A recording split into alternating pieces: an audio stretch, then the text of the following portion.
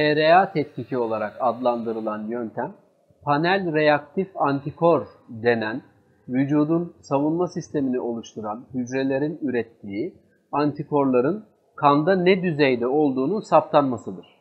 Her insanda vücudun doku tipini belirleyen 6 tane doku loküsü vardır.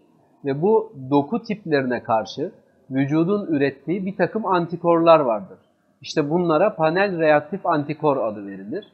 Ve bu tetkikte de bu antikorların vücutta hangi oranda ne seviyede olduğu tespit edilir. Panel reaktif PRA tetkiki denen şey vücuttaki bu düzeyin saptanmasıdır.